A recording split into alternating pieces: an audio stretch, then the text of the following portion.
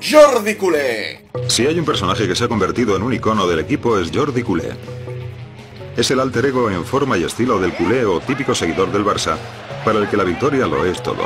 Es un dibujo animado diseñado por Óscar Nebreda, creador de la revista El Jueves, que fue utilizado por TV3 en las retransmisiones de los partidos del Barça en 1990. En aquel momento la idea de la cadena catalana era crear un personaje del Real Club Deportivo Español Real Madrid e incluso el de un árbitro, pero finalmente quien se llevó la palma fue Jordi, Jordi Culé. Su primera aparición en TV3 se produjo el 8 de septiembre de 1990. Se disputaba un partido entre el Sevilla y el Real Madrid. Hugo Sánchez falló un penalti y Jordi Culé, feliz, saltó al campo a celebrarlo.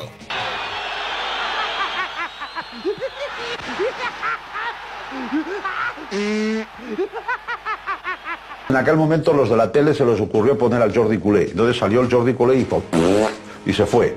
Y entonces se montó un follón el muñeco culé pasó la barrera catalana y se hizo conocido en toda España por la polémica, mientras el Real Madrid, furioso, arremetió contra TV3 y presentó una queja formal. TV3 se disculpó, mientras jugadores del Real Madrid como Gordillo calificaron la acción como una payasada.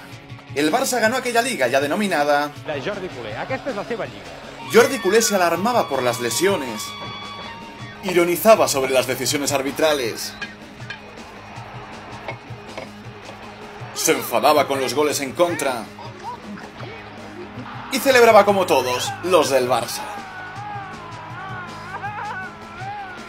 Y por si a alguien le quedaban dudas, sacaba la tabla de clasificación.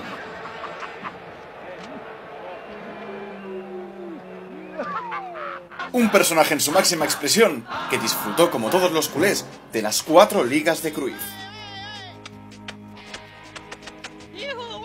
Jordi Culé quedó suprimido de las pantallas de TV3 a finales de los años 90, pero dejó una huella imborrable.